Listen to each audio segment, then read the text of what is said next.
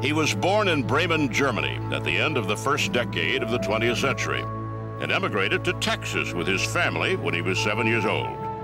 He was a good student, and after graduating from Texas A&M University in 1931 with a degree in science, he joined the Army and became a bomber pilot. He went on to further his education with advanced degrees in aeronautical engineering. After World War II, his interest in aeronautics blossomed and led to a career in the scientific and research field.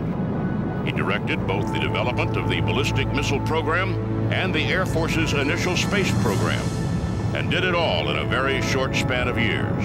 I'd not only consider Schriever a visionary, I'd have to say that he might have been the preeminent visionary in terms of what the Air Force has become.